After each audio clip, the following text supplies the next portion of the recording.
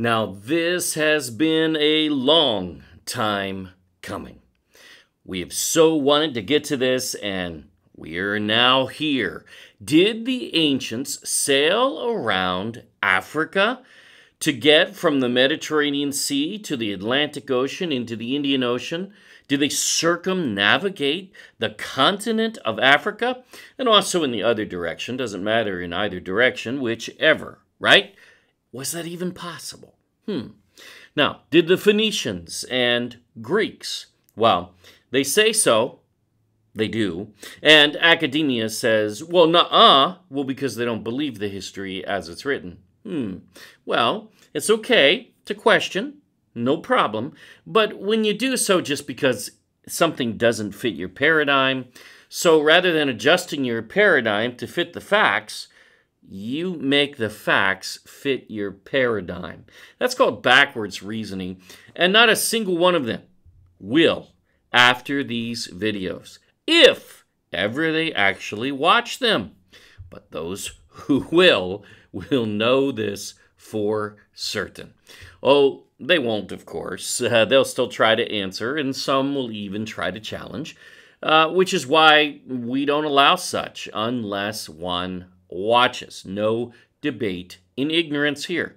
Our channel, our rules. That's right. I said it again, and I'm going to keep saying it. Now, this will be a three to four part mini series. Haven't quite decided yet, but uh, we'll get through all of this over the next couple of weeks. We're going to release these just one after the other. Uh, within Solomon's Gold series, yes, we're back to that same topic for good reason because this is where it belongs. This first video will set foundation specifically regarding biblical accounts where the Bible says ancients circumnavigated, they sailed around Africa as fact. The Bible is fact, you know. If you don't believe that, well, don't call yourself a Bible scholar, uh, you know, or a believer of the Bible. And yes, it most definitely does, no doubt, say that. Uh, that will be our foundation. I know how dare we set our foundation on the Bible. Yeah, we get that. But we always will here. So, I mean, that's far more academic than most so called academics, uh, for that matter. So let's establish this. Then we'll show you credible, affirmed, written history that the Phoenicians, Greeks, most certainly did circumnavigate Africa in ancient times. Boom. So, did the Persians, uh, it appears, there's a bit more uh, hazy as far as pinning down the details, uh, but the Greeks are not. Uh, then we'll cover the first century mapping mindset in the following video after that, where we will explain how to read the maps of that era. Uh, and this is groundbreaking, really. I, it's uh, in some ways, it's hard to believe that we would have to teach this because academics should have done this a long time ago. But we have never seen anybody really explain this and set it up so people can understand. Uh, what was missing from these maps and why? And what wasn't missing and why? Why were these things there? Such as these two islands southeast of China, which are always placed southeast of China. Hmm. What could they be? And why are they always there? And how did they even know about them? Hmm, interesting indeed. This will clear up much for many. Anyone can go grab a map here or there, but we need to understand how to read it. Yeah, I know one of our critics can't even read a map. I mean, you should read his blog. Actually, don't bother. It is a waste of time. Then finally, and it will probably be a fourth video, I'm guessing, but not sure. Uh, we're going to break out the big guns and take you all the way back to 800 BC, and before that, we will locate the infamous Oceanus River, a worldwide river system hmm, which fits the rivers from Eden. Oh, what? What is this? You mean the Greeks affirm the Bible? Ooh, we'll see. Now, we've covered exactly from a different perspective, of course. Uh, so, but we've covered the rivers from Eden in massive detail, and if you haven't watched that series, River from Eden series, then you're missing tons. And what a revelation that is! This will demonstrate the Greeks affirm, though, that they circumnavigated Africa in that period. That's 800 BC. You'll see for yourself. And even long before, and these are hugely significant accounts academia loves but does not know how to read in the proper paradigm. Uh, because, again, they ignore the Bible, so they don't understand what the Greeks are even talking about. And you see, we will. You will. Now, we'll fix this, and you will understand uh, by the end of these uh, three or four videos. Uh, by the time we're done, boom, there it is, proven. See for yourself, watch, test, and learn. Let's begin with the famous ships of Tarshish from the Bible, but also other historic narratives, by the way, mention these ships. Uh, we're not going to go into all of that, but we're going to open with this just to remind everybody who this Tarshish was. Because he was, well, Greek. Duh. I know, many so called academics will tell us the Bible is not a history textbook like a broken record. Uh, they can't even think through the statement. because what a stupid paradigm when they repeat such a robotic mantra without even thinking about what they are saying. They just told us that the most well documented text of all time, whether one believes the theology or not, which is impertinent, which prove provides details of historic figures and places, well, is not actually history. That's stupid. That's not academic. Anyone covering ancient history, which, let's be clear, many of them don't, and they dismiss most of ancient history in a false paradigm. They just don't want to know it. So they basically admit they know nothing and don't want us to know anything either. Peter called that willing ignorance in 2 Peter 3, and that is exactly why the creation and flood narratives would be under attack, and they are in our age right now. And in fact, most Bible scholars don't even believe those accounts. They don't believe the Bible on creation and the flood. That's pathetic. They are Bible scoffers, not Bible scholars. Let's be clear. And that alone is a great litmus test to decide. You want to know their doctrines? Whoa, stop right there. Do they believe creation and the flood as it's written in the Bible? If they don't, they're scoffers. They're not scholars. The Bible tells us this dude, Tarshish, who became famous for his ships. How? Hmm, let's talk about it. Was a son of Javan or Ion, basically uh, Ion, Ion. Uh, Javan founded Greece. See, there's no J, no V in ancient Hebrew. I mean, it's just not there. Um, no, not China communist agitators who can't read. China was never Greece, duh. I can't believe that there's a channel that actually made a video trying to claim that. Yes, they tried. Uh, the thing is, and this is so obvious to anyone who can read, Tarshish and his brothers received an inheritance from their father. The Greek Isles, that's what Genesis 10 says. Were they incredible swimmers? I mean, Olympic, well, no, they'd have to be better than that, actually. uh, duh, not that good. Just doesn't work. This means they needed to find a way to float on water to get to their inheritance, the Greek Isles. Now, I know the concept is so foreign to the ancestors not that far removed from Noah, you know, and his three sons who built a super tanker, which specs mankind had not replicated until the past century or so, in steel even, not wood. But we are supposed to believe that Noah and his sons never shared this knowledge with their grandchildren, yet there was now a new world ocean to cross Nonsense. And the Bible says so. Now, Tarshish is from the family Japheth, not Shem. Let's be clear. He's not. But the ships of Tarshish are invoked as early as 2200 BC. Tarshish is in this narrative somehow. Why? He's transporting Ophir and his brothers who didn't have ships because they lived in the middle of Iran in the eastern side where there was nothing to float on but a, a small river.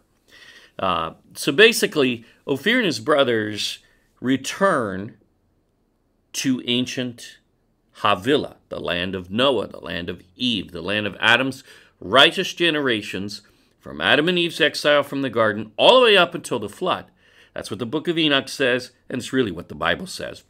Even its name, Havilah, is very clear. That's Hava, Eve. Uh, that's her name. I don't. It should never be Eve. It should always be Hava or Hawa, really.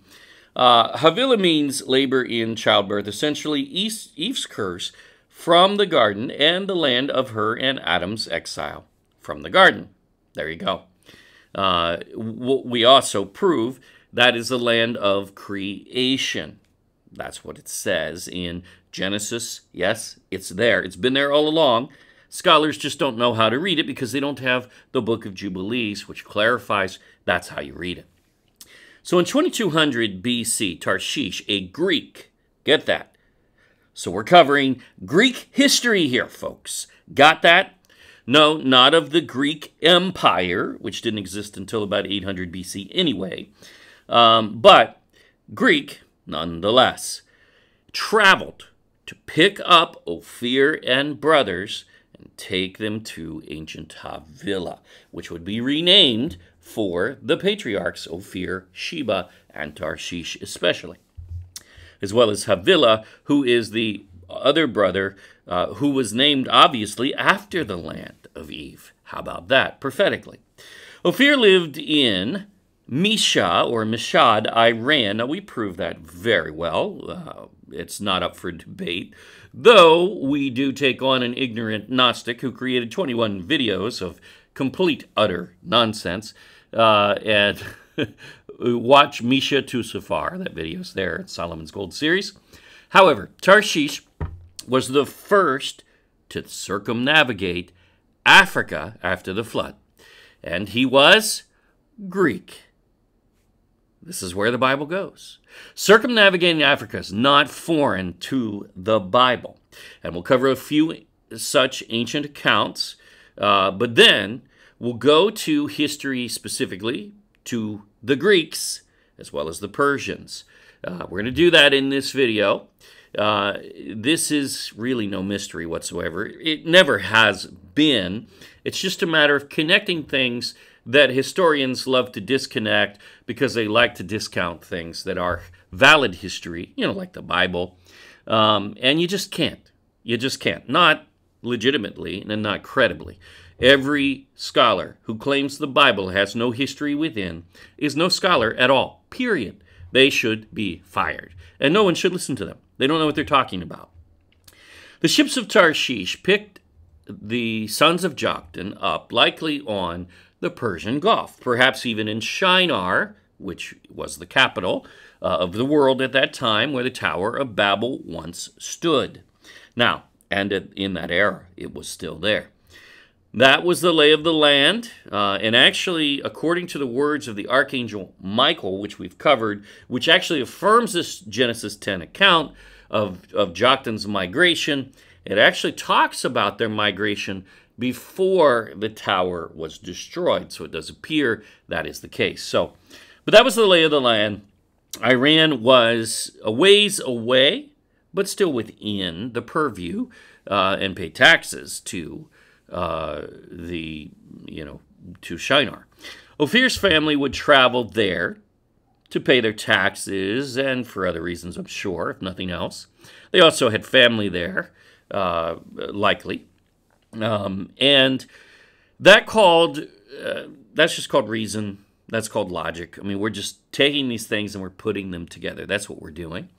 Don't pay attention to those incapable of such in academia nor scholarship because they'll just lead you nowhere. Test them.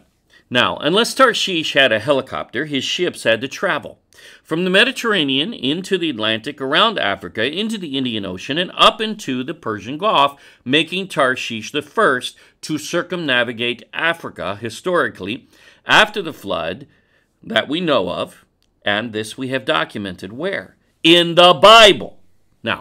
He would pick up Ophir and brothers there and take them to the land of Ophir, Sheba, and Tarshish in the far east.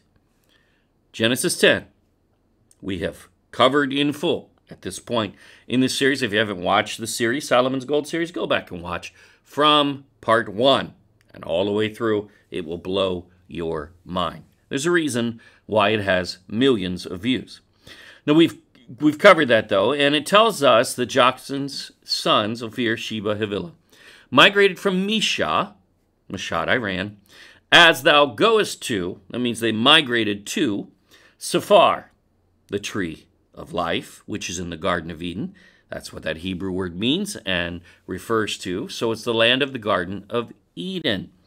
To the Mount of the East, and we've covered Jubilees and Enoch, identifying the Mount of the East and Mountains of Eden that Enoch uh, basically describes, uh, as well as the words of the Archangel Michael I just mentioned, uh, who talks about the nine mountains of the east. We cover that in answers in First Enoch. It's all there. All of these are the same. The isles, islands after the flood, were ancient mountains. Uh, watch our Rivers from Eden series. We prove that. Thus, Mount of the East. See, uh, in fact, there's there's nine mounts of the east, mountains of the east, according to the Archangel Michael. They're all in the Philippines, modern Philippines, and we proved that out. This trip in ancient times was famous, and this is why the ships of Tarshish are called out in Scripture several times. Tarshish would then receive land there as payment for the travel obviously. Does the Bible come out and say it? You know, the Bible doesn't come out and say a lot of things, but when you see the beginning of the narrative and the end of the narrative, it's obvious what happened. But how do we know?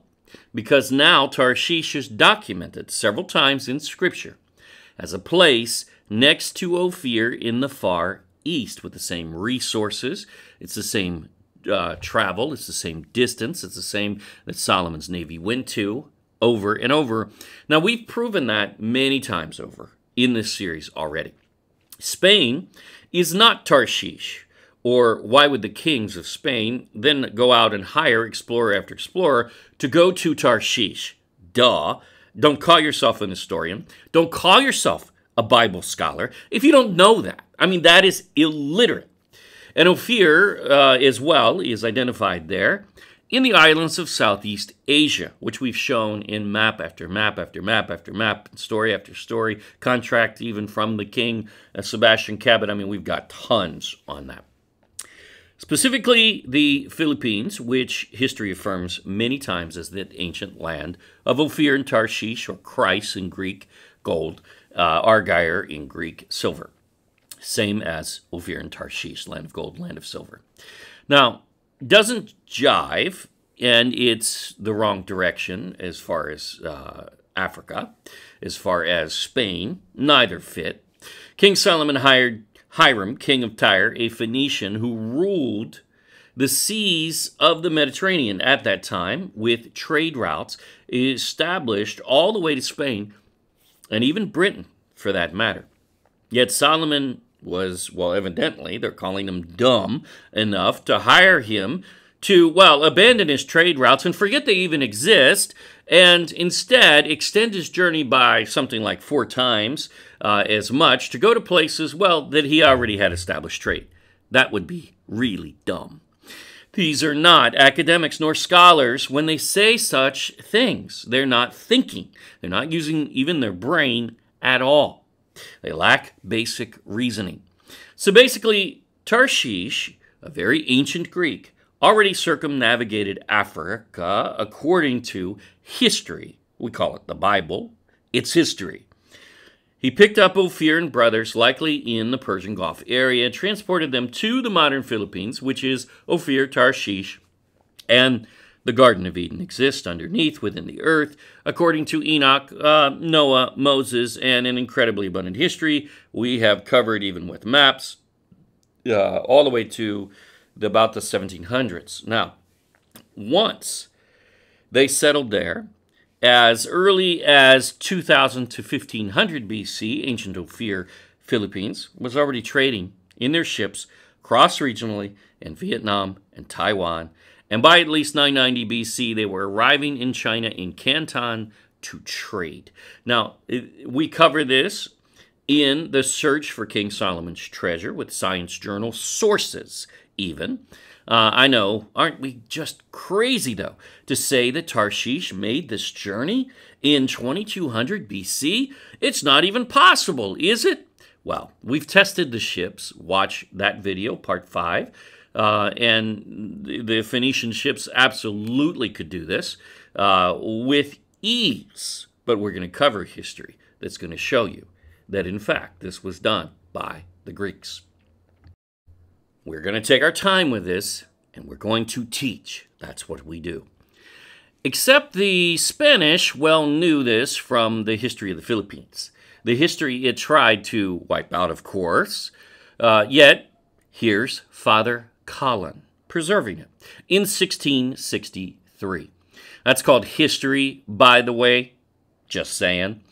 And that this was really so and that the principal settler of these archipelagos was Tarshish, son of Javan or Ionan Greek, an ancient Greek.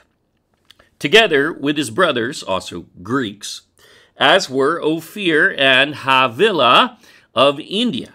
Hmm. Now, note India in the 1663 era mindset sprawled all the way from Mesha, Iran, uh, in the West all the way to, uh, so that's accurate and consistent, all the way to really the Philippines, all the way to the Indies. Now, he's not saying modern India geographically, uh, and it fits. So don't try to read into that. You can't.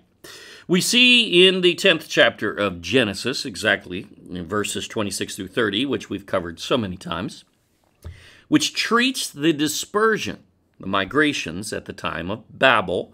That's why he used the word dispersion, notice that, of the peoples and the settlement of countries as we establish in another place. So they migrated to another place, to the Philippines, and that's where Tarshish now had real estate, uh, as well as Ophir and Sheba. Again, Tarshish's payment for his famous ships, taking them there. They got there somehow, and that is obviously how.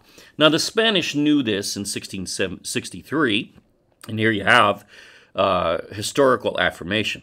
They had the written, documented history of the Philippines. They, of course, have now erased it uh, over the recent centuries, but this tells us it did exist, and it does in the Bible, which cannot be erased. No, he's not the only one. We have covered many more, including Columbus, who put in writing uh, what would become known as the Philippines was Ophir and Tarshish. We've covered that well, including the map he used according to his journey.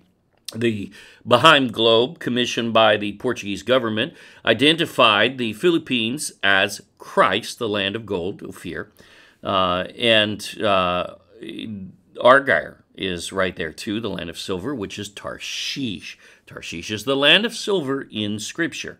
We've covered that many times over.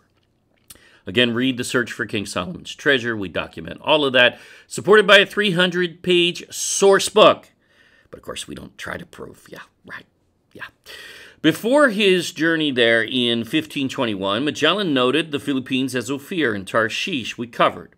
In 1522, the King of Spain, in Sebastian Cabot's contract, documents the modern Philippines as Ophir and Tarshish. All these sources are right there. We show you what we use. It's right there in the source book. Uh, read the book and follow along in the source book. We've documented everything, and it is proven at this point. Also, the same year, Spanish government document number 98 identifies the Philippines as Ophir and Tarshish by name. That's what it calls them. 1601, Antonio Galvão uh, defines the Philippines as Ophir and Tarshish. 1607, Dominican Gregorio uh, Garcia does the same. We even find, as late as 1891, former Prime Minister of the Philippines, Paterno still identified the Philippines as the ancient land of gold, Ophir. Now, this has never been a mystery, and it proves Tarshish did make this journey. That's the point here. He was a Greek, and he circumnavigated Africa to make this happen. He had to. But is there not other support? I mean, it's as if academics and Bible scholars don't even want to know these things. Just go read a Bible dictionary on Ophir and Tarshish, and they are stupid. They are the dumbest writings we've ever seen. They've done zero research, and they give you no facts whatsoever. It is a lie. So, uh, you know, they'll say, la, la, la, la, la, la, la, I can't hear you. That's really what they say. And that's all they say. And then they say, when you tell them the facts, nuh-uh. Oh, that's so scholarly of you. That's so academic. That's so just so bright. No, it's not. It's called willing ignorance, according to Second Peter, and that's what we're dealing with in this age. We will not go there. Let's prove this out now. Advanced to 970 BC, we have well proven this. Solomon builds his famous navy and port on the Red Sea. Uh, not the Mediterranean. He's not cir circumnavigating Africa, but the point is where he's going. And they go to Ophir and Tarshish by name. And it's in the far east, beyond the Indian Ocean, a multitude of islands. There's much there. Uh, we're going to cover more on that next video as well, because we're going to get into some maps. Uh, which can only be there because his narratives define the resources that are not found in most of the areas making claims. Uh, that are also in the wrong direction and territory, such as Africa, which is in Ham's territory, and fits nothing of this story. Uh, Spain, Britain, they all fail miserably. Saudi Arabia, Yemen is a huge joke uh, that Solomon spent all this money and time to build a port and navy to take a three year round trip journey, uh, and the resources aren't even there when they're all but, what, three months away and uh, already paid Solomon tribute as the kings of Arabia. Now, that's pretty dumb. Uh, can these scholars even read? Well, evidently not. They can't put things together, that's for sure. Uh, they're really not scholars of the Bible when they do this. Uh, again, we prove this throughout Solomon's Gold series. We ain't reproving those 80 videos or more uh, in this one, obviously. Uh, attempt to debate all of that, well, be muted. Uh, no debate in ignorance here. Our channel, our rules. You will review our positions before trying to debate, and once you do, you'll find you can't debate. That's the fact.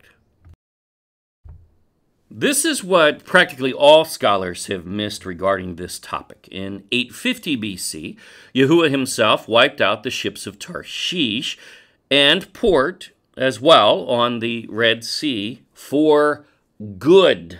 No one was using it. Now, that point of entry was lost. Again, that's 850 BC, and the story of Jonah is about to happen with this in mind. These are the conditions scholars just ignore, they miss it, uh, when they try to project Jonah stayed somewhere in the Mediterranean uh, and the Tarshish must be somewhere there, which doesn't fit the narrative whatsoever, fails miserably. It just cannot. Uh, there's also no monkeys, elephants, peacocks, etc. there uh, in those lands natively. Uh, Britain and Spain are out. They cannot be Tarshish. The Bible tells you that Tarshish has things that they don't have. However, the ships of Tarshish, named for the ones going from Israel to Tarshish, Philippines, are gone at that point and no longer an option, again, setting up the conditions for the next story. However, Jonah tells us the ships of Tarshish from the land of Tarshish, not the ones from Israel, some get confused there, the original ones, the land itself in the Far East were still running. And guess what? They were circumnavigating Africa, which his narrative is extremely clear, leaving no room for anything else. Hmm, this is interesting. And again, Tarshish was Greek, and his descendants would be of Greek descent, whether they lived in Greece or not. In part three, we restore Jonah's actual journey according to the Bible account, which almost every scholar and even pastor at that level has wrong. They just teach it wrong because they don't know and they're taught inaccurate geography. They just don't know what they're talking about. First, they forgot the Red Sea port was toast, and that's a huge forget. It's gone, and all the ships as well. So the only option was to circumnavigate Africa into the Atlantic, into the Mediterranean. And then Jonah says, this is history and geography right there in the Bible, says the ships going to Tarshish were right there in Joppa, Israel. That's on the coast of Israel on the Mediterranean, not on the Red Sea. Somehow they got around there. Now, Jonah says the ship was in 800 BC, so it was. And how exactly can we miss nor dismiss that? Willing ignorance, of course. So here we have history, yes, history, that in 800 BC, the ships of Tarshish, the Greek ships, yes, from the Greek colony over in the Philippines, were able to show up in Joppa, Israel, on the Mediterranean. How about that? Uh, there was no Suez Canal yet, and the Red Sea port was out of commission. They circumnavigated Africa. It was the only option, and it's documented right here in 800 BC. So, who did? Well, the ships of Tarshish from the Philippines did. Israel's ships of Tarshish, named for where they would go, uh, weren't in existence anymore. Now, that's what Jonah says because, and here's the detail he was headed to Tarshish in the Far East, never identified in any biblical narrative as anywhere else, especially not Spain nor Britain, which are laughable assertions. Uh, again, produced the monkeys, the apes, and the peacocks, and uh, and and the elephants. Um, and and we gladly consider it. But since you don't have them, you have nothing. And since the king of Spain hired a British explorer to go to Tarshish and Ophir in the Far East, in the area of the Philippines, we just say, duh, read your history. You're not an academic on this issue. You're not a scholar, if that's the case. Now, watch part three of Solomon's Gold series, where we break this story down in detail and prove it out. There are two periods in which three days are invoked here. Now, this is important, critical, and many don't even recognize the second, again, because of something that comes out of pulpits, which is a lie. It's an absolute lie and easily disproven. Let me tell you. First, Jonah was swallowed by the fish, probably Leviathan or whatever it was. Leviathan uh, breathed fire. He's like a fire breathing sea dragon of sort. And he was created by Yahuwah, by the way. He's not an evil spirit, he's an actual creation. And um, so he would have oxygen in his apparatus, and he would be large enough for Jonah to fit and breathe for the three days and three nights. Now, by the way, that's no fairy tale because Messiah confirmed this as fact in the first century in Matthew 12 and Luke 11. So you can't argue that. So don't let them treat it any any other way but history because it is. If you don't think the son of Yahuwah knows his history and when he spoke it identified and affirmed history, well, then you just don't believe the Bible. Don't pretend that you do, and certainly don't call yourself a Bible scholar, right? Now, Jonah is spit up, but the next part tells where he had to have been spit up. Uh, preserving that Tarshish is east of the Persian Gulf, indisputably in the Orient. Now, once spit up on shore, Jonah 3 3 says, So Noah, or so Jonah arose, not Noah, so Jonah arose and went unto Nineveh, okay, according to the word of Yahuwah. This is after he was spit up. That's the actual word there, by the way, in Hebrew, YHWH, Watch the Name of God series. His name is Yahuwah. Now, Nineveh was an exceeding great city of three days' journey. This is where pastors come in and err consistently. We've heard this in many different denominations, and it is utterly illiterate of Scripture. Uh, we're aware in many pulpits when relating this they actually tell us, oh, this means that Nineveh was so big, it took three days to cross from one end of the city to the other. Is that what it says? Actually, no, if you just read it in English, it's pretty plain. However, that's ridiculous, as we have found the ruins of ancient Nineveh in archaeology. And it has a wall around it. And we can measure that wall. Now, we cover the details again in part three, but it was not even a one day journey from one end to the other, whether alone three days, that is a lie. And unfortunately, many pastors don't know this.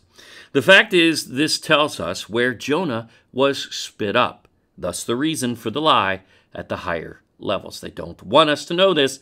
They've been hiding Ophir in Tarshish for good reason, because it will rise in the last days and it will rebuke those Pharisees.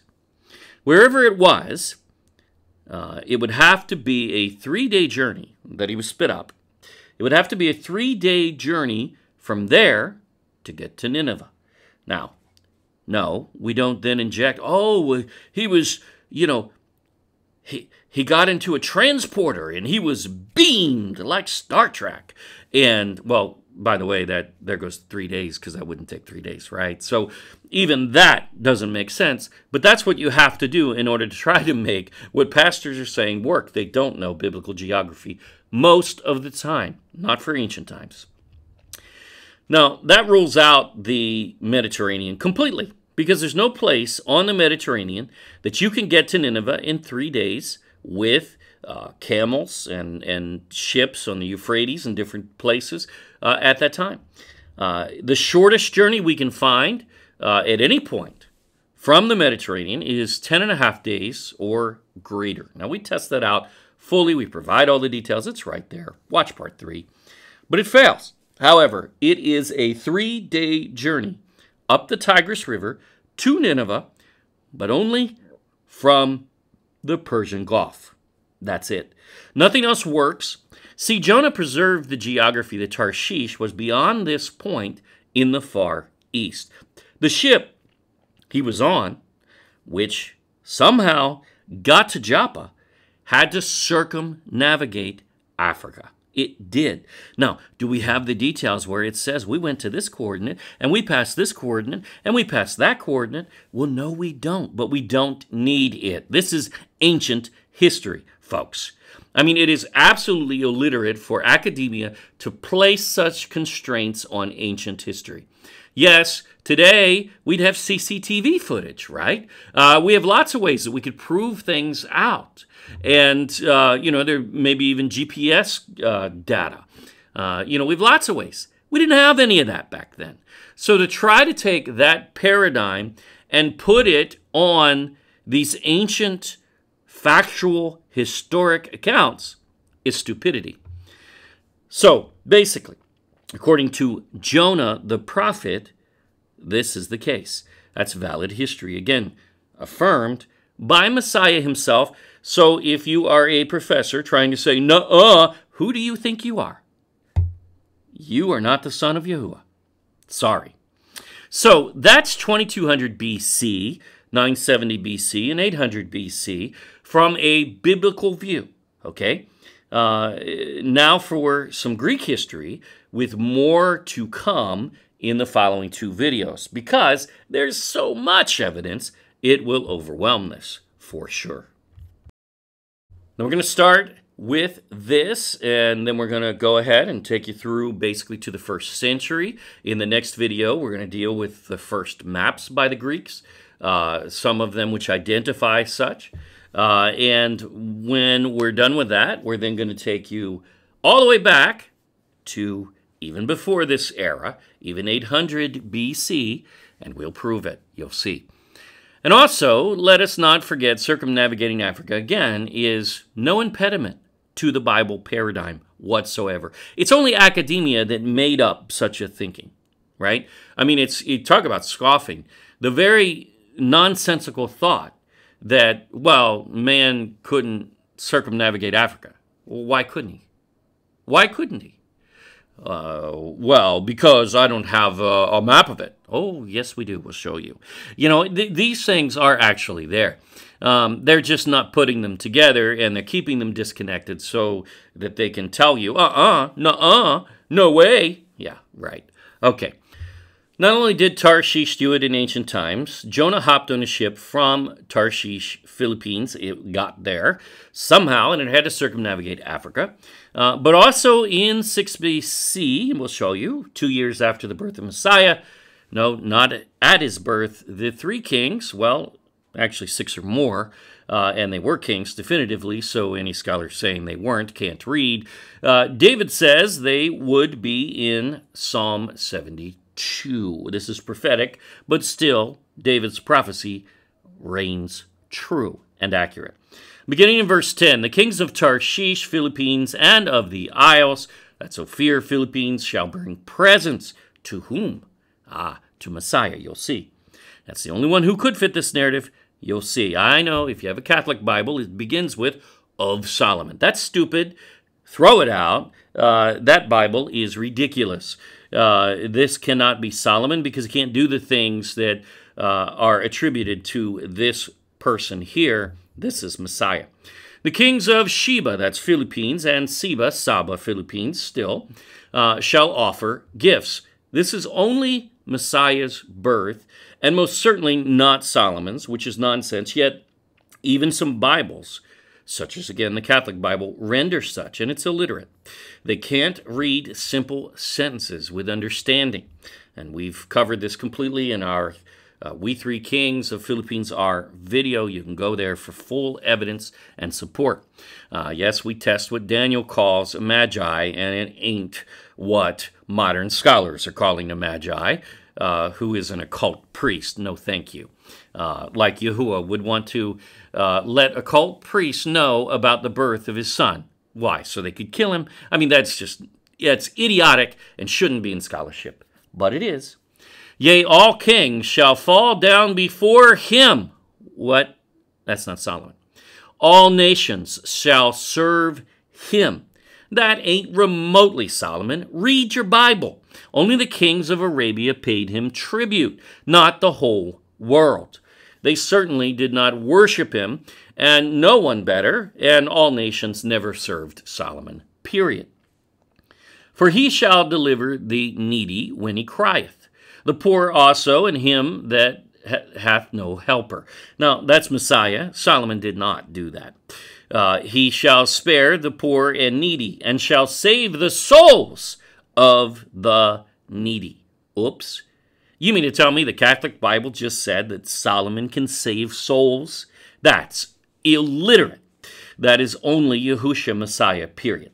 He shall redeem their soul. What? Only Messiah can. Solomon could not. From deceit and violence. And precious shall their blood be in his sight. Solomon did not have such care. Verse 15 And he shall live, and to him shall be given the gold of Sheba. That's Philippines, which is Ophir, Philippines. Sheba is Ophir's brother from Joktan, from Shem, not the wrong Sheba in Ethiopia, who had the legs and hoof of a goat in the false occult tale from the Kebra Nagast. We covered that.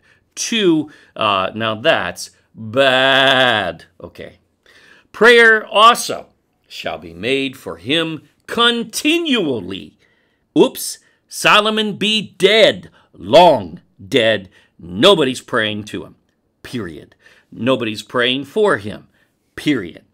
Only Messiah fits this, and daily shall he be praised.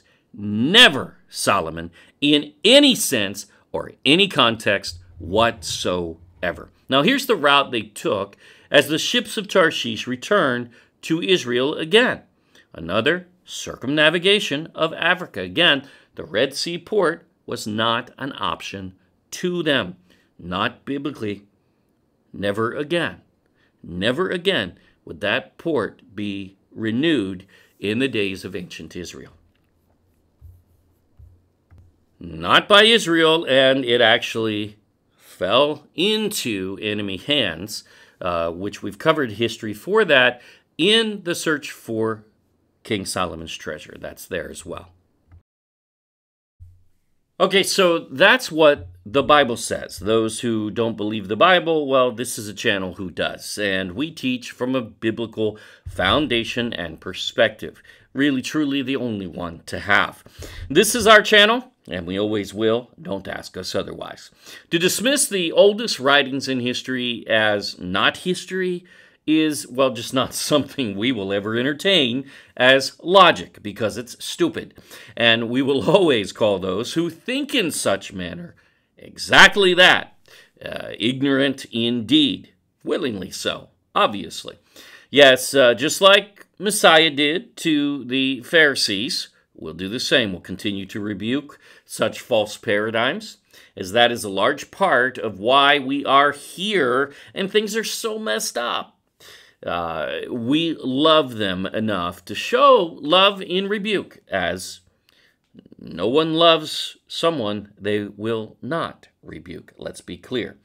Our foundation is set, and yes, the Bible lays out that Tarshish, a Greek, and his Greek brothers most certainly circumnavigated Africa in around 2200 BC.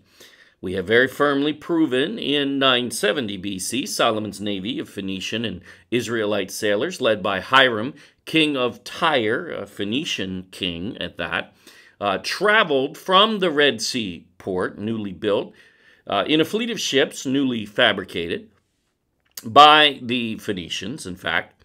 Uh, they were Phoenician designed.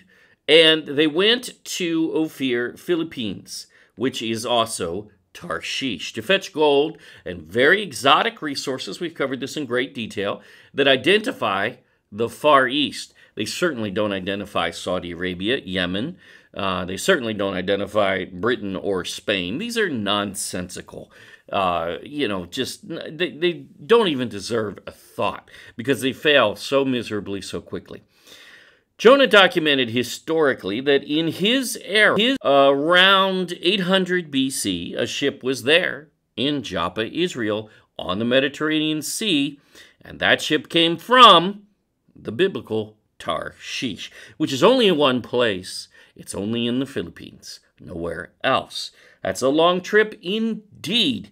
And what was Jonah doing? He was running away from Yahuwah. He wasn't looking for the most efficient journey.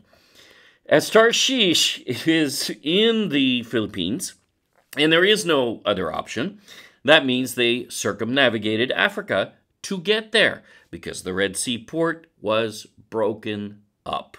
And the Bible tells us the three kings, really six or more, according to David, uh, and we showed you, yes, they are kings indeed, came from Tarshish, Ophir, the Isles, Sheba, and Seba once again, with an offering just as the Queen of Sheba gave to the temple project. See, this is a biblical giving. It's the same thing that Adam did in the first sacrifice gold, frankincense, and myrrh. Queen of Sheba, gold, frankincense, and myrrh, and precious stones added. And now the three kings, gold, frankincense, and myrrh. See, something's going on here. This is a biblical covenant, uh, you know, uh, offering uh, from the very land of creation itself, from the land of Adam and Eve, to which Ophir migrated. And only this time, this oblation is to Messiah as a toddler. It took them two years to get there because they too had to circumnavigate Africa. And yes, the Red Sea port, broken up in those days, and controlled by the enemies of Israel. You weren't getting passage into Israel from there. Now, thus, yes, the ancients did circumnavigate Africa. That's just fact, folks, but we ain't done. Now, in the next video, let's delve into the history of the Phoenicians, Greeks. Uh, same, Greece conquered and absorbed Phoenicia, and Persians especially as well. Uh, then, the first century mapping mindset. And finally, we will locate the infamous Greek river Oceanus, which surrounds the whole world, comparing it to the rivers from Eden, which it matches. And guess what? In these accounts, many written in 800 BC or so, the Greeks say they circumnavigated, they sailed around the entire continent, or most of it, of Africa in order to get there. Because, well, they did. That will be phenomenal and a home run to a grand slam home run to wrap it up. Can't wait to get there, but these all have incredible value uh, to this entire narrative. Thank you for watching. We have over 470 videos on this channel, one for every day of the year plus now. Uh, many just as profound, with some 50 or so in Tagalog for Filipinos, and now six in Spanish to start. We also have been setting up subtitles for 20 plus languages for most of our videos. Don't forget to like and subscribe and click the bell for notifications of new uploads.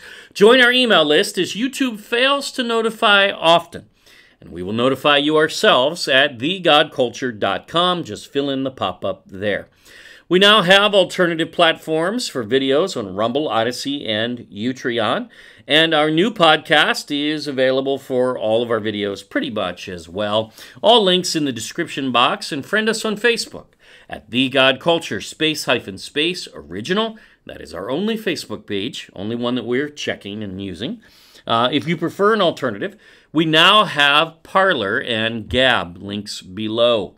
We have six books published internationally, being read in over 100 countries. Uh, and actually, I correct that. It's now seven. How about that? Uh, with our new release, the first book of Bible History Illustrated, Enoch's Animal Dream Visions. We also have now launched Ophir Philippines Coffee Table Book in the US, Canada, UK, and many overseas markets on Amazon, and it's available in hardcover or softcover there. Also, this uh, first book of Bible History Illustrated is available only in color. We're not even doing this in black and white.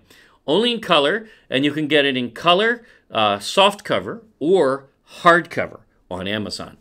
Uh, coming to the Philippines soon. Not yet. We're not there yet, but we will get there. Additionally, we launched the Book of Jubilees, the Torah calendar, with color maps and interiors, as so many had requested that overseas, uh, rightfully so. Uh, we already have that in the Philippines. Uh, the Philippine copies have color maps inside already. Uh, that too is available on Amazon in hardcover, softcover, both in color or in black and white softcover if you wish. Uh, all books, including Solomon's Treasurer, are now free in ebook. Uh, we're not going to do an ebook for this one because we have this video series animated, and we're going to release one with all five uh, as one video as well. So no need to do an ebook when we'll have the video animation. Uh, more coming soon. Thank you for watching. Now, always remember, prove all things for yourself. Yah bless to everyone.